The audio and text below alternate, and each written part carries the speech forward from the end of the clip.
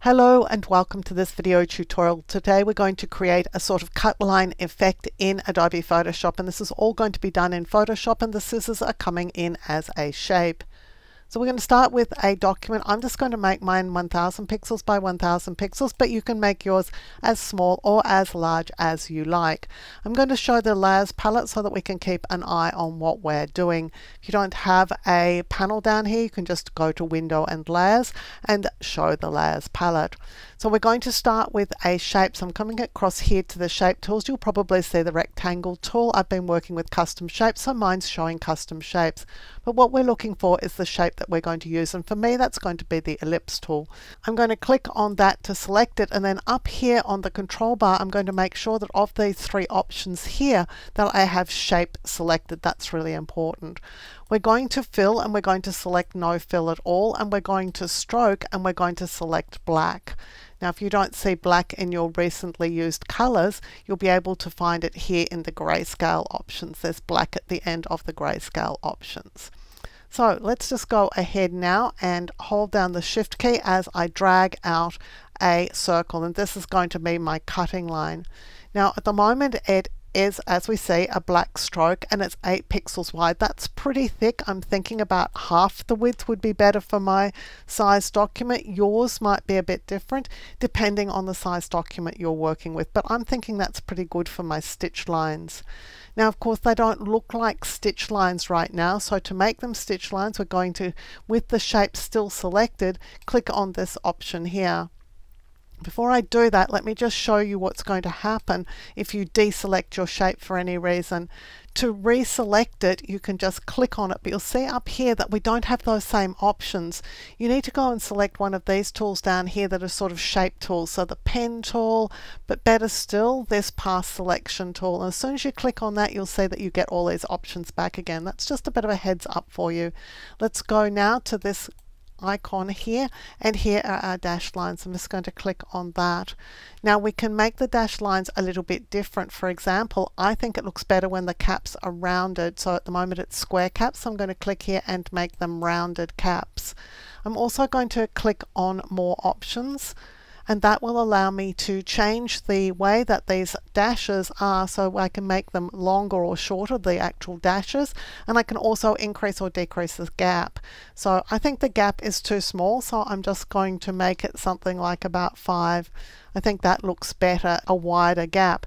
And I could make my dashes longer or shorter by just adjusting this figure. I'm just going to click OK and let's just go into the top here because this is where the overlap is going to occur. If things aren't sort of going evenly around the shape, you're going to get a problem at the top here. And the top is a little bit difficult to see because as soon as you select on the shape, you get this handle here. So if you zoom in, you'll be able to see it a little bit better. I'm going back to this tool, I'm going back to more options and I want to work on this here. So what I'm going to do is go and click in the gap area and just press the down arrow key and that just decreases it a little bit and you can see that these shapes are starting to pull away. So I'm just focused on here. I'm actually going to increase it because I think I'll get there more quickly. So I'm just going to click until it sort of disappears and then click again. So I'm thinking that this is the point at which it just disappears. So 502 is working just fine for me, but you'll need to tweak it just a little bit so that when you click OK and then click away from the shape, you'll see that there's no unevenness or no really highly visible unevenness and you don't have dashes that run into each other, for example. Now for the scissors we need a shape and if you haven't got the legacy shapes added back into Photoshop this is what you're going to do. You'll go to window and then shapes. So this is the shapes panel. It's different to the one that you get when you click on custom shapes just be aware of that. What we're going is going to the flyout menu and we're going to legacy shapes and more and that adds in the legacy shapes. So if we click to open these, you will see that you have the 2019 shapes and the all legacy default shapes. Let's click open all legacy default shapes and we're going down here to objects and here are the scissors. So it's just pointing out where you're going to find them. So they're going to be in the legacy shapes objects. So let's just click away from there because we want to go over here and select custom shape tool. I'm going to add a new layer because I do want my scissors on a different layer. I'm going to click the down pointing arrow here and here are the legacy shapes and more that I just added. So I'm going to all legacy default shapes. I'm going down here to objects and here is the scissors. And I want this pair of scissors. It's scissors too. So it's just going to click on it and click away. So this is now the shape I'm working with. I'm going to hold the shift key as I drag out my scissors. Holding the shift key just make sure that they're constrained to the correct proportion. Since I had black stroke selected here, we're going to actually change this around. I want the fill to be black and I don't want it to have any stroke at all. So I'm just going to switch those around. Let's click away from this and see what we've got. Well, we've got our pair of scissors. I think they could be rotated slightly, so I'm going to select them and I'm going to rotate them a little bit.